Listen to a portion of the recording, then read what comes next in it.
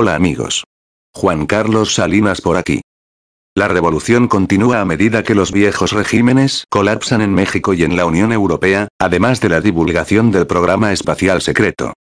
El caballo camarilla criminal que ha estado gobernando el planeta Tierra está siendo sistemáticamente eliminado del poder, siendo el último cambio de régimen el de México y pronto, los que se darán, en la Unión Europea.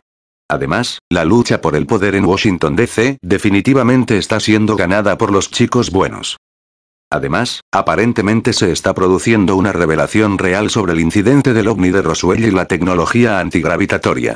Los dos enlaces a continuación nos fueron enviados por la inteligencia militar japonesa y dicen que son genuinos, aunque esta no es un área en la que este escritor tenga mucha experiencia.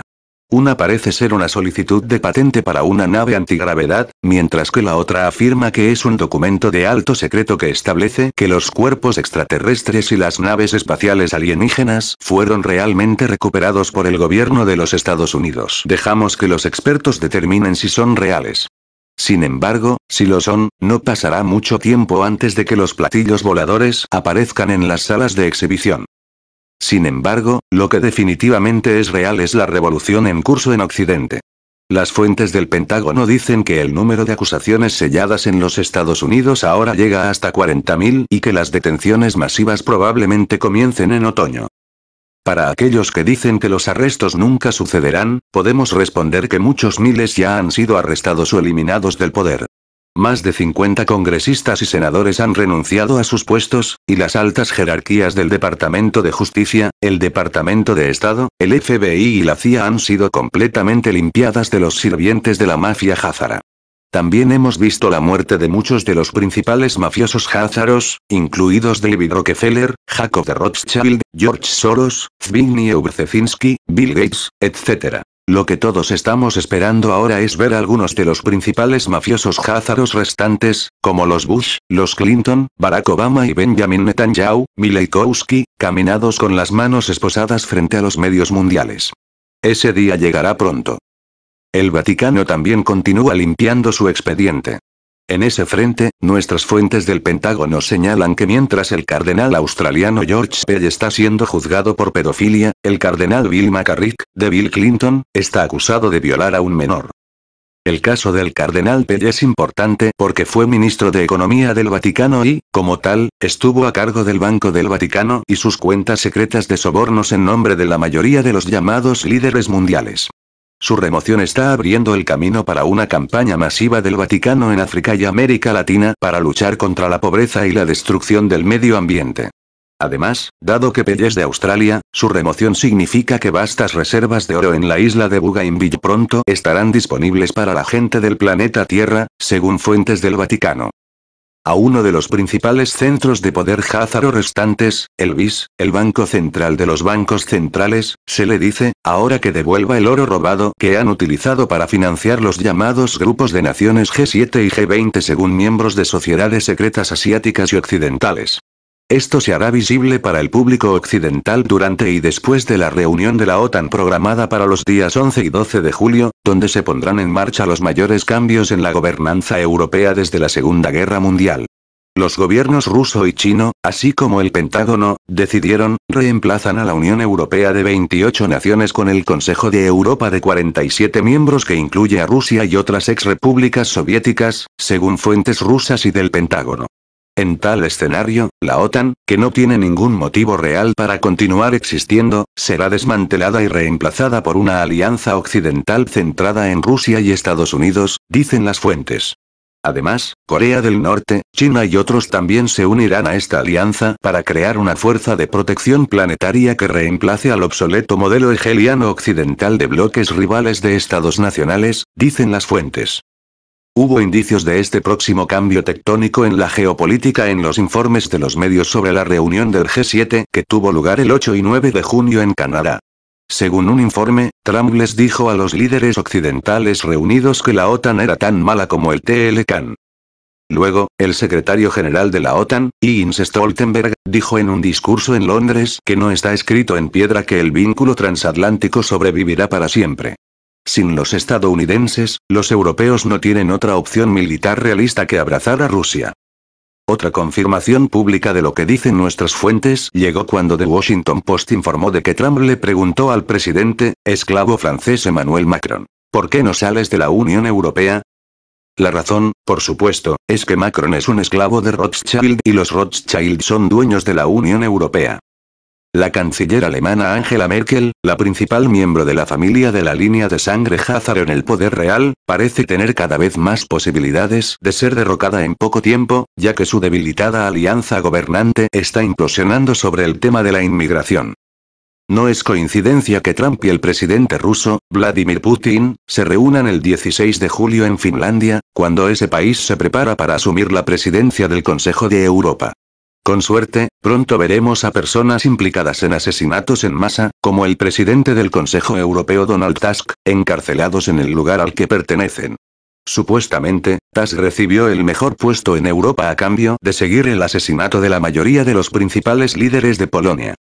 Ahora, finalmente, llegando a México, el recién elegido presidente López Obrador promete los mayores cambios en ese país desde su revolución de 1910. Obrador fue elegido por una ola de disgusto popular con la corrupción, el crimen y la traición por parte del antiguo régimen. Un ejemplo de esto fue la decisión del antiguo régimen de vender los recursos hídricos de México a las empresas privadas controladas por la mafia házara, a cambio, sin duda, de sobornos masivos. En algunos lugares, esto ha llevado a que el precio del agua aumente 13 veces incluso a medida que el servicio y la calidad se deterioran. Es probable que veamos muchos arrestos relacionados con la corrupción alucinante, ya que Obrador finalmente tiene la oportunidad de arreglar México.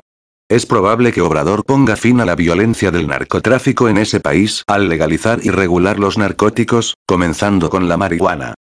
En el pasado, el gobierno de Estados Unidos habría intervenido para detener cualquier legalización de drogas en México. Sin embargo, siguiendo el ejemplo de Canadá, el Senado de los Estados Unidos acaba de aprobar un proyecto de ley para legalizar el cultivo de cáñamo, por lo que parece que se tratará de un esfuerzo conjunto de América del Norte, perdón por el juego de palabras, conjunto en inglés también significa porro. Volviendo a América del Norte, echemos un vistazo a algunos desarrollos más recientes en la lucha por el poder de los Estados Unidos. En este frente, nuestras fuentes del Pentágono señalan que, en una advertencia contundente al Estado profundo, la NSA eliminó 685 millones de registros de llamadas de personas inocentes, mientras que guardó el resto para tribunales militares y otros propósitos para asegurarse de que los tribunales militares sean minuciosos en su eliminación de la inmundicia que se ha infiltrado en el gobierno de los Estados Unidos. El régimen de Trump está renovando el Tribunal Supremo, dicen las fuentes. Señalan, el juez de la Corte Suprema Kennedy finalmente se retira para permitir que Trump gire a la derecha de la Corte con otra elección conservadora que sería confirmada en septiembre justo a tiempo para que la Corte Suprema abra el 1 de octubre.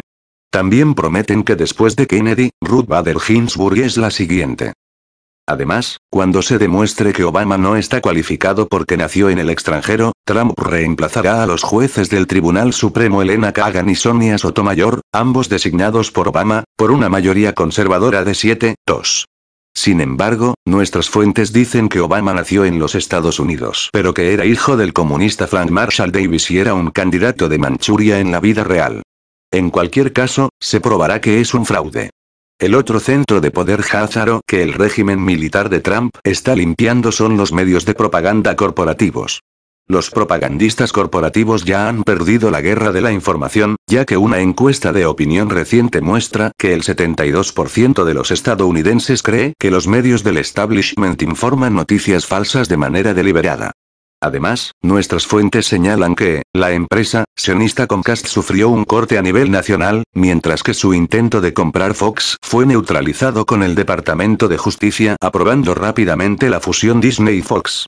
A Disney se le permitió comprar Fox para evitar que Comcast se haga más grande, y Trump podría incautar a la ampliada Disney por su participación en la empresa sexual Harvey Weinstein, agregaron. Nos gustaría señalar aquí que sacar a la mafia házara del poder es más que solo atrapar a los malos. Se trata de salvar el planeta. El liderazgo planetario actual, occidental, ha presidido el mayor evento de extinción desde que los dinosaurios fueron eliminados, y la tasa de extinción se ha estado acelerando. Un informe reciente muestra que 2017 fue el segundo peor año registrado en la historia de pérdida de bosques tropicales, la mayor fuente de biodiversidad en este planeta. Esta es una de las razones por las cuales un grupo de científicos prominentes hizo un llamamiento recientemente para hacer un importante esfuerzo internacional para salvar la vida en la Tierra. Una vez que estos fanáticos criminales sean retirados del poder, la Sociedad del Dragón Blanco y sus aliados prometen una campaña masiva de billones de dólares para terminar con la pobreza y detener la destrucción del medio ambiente.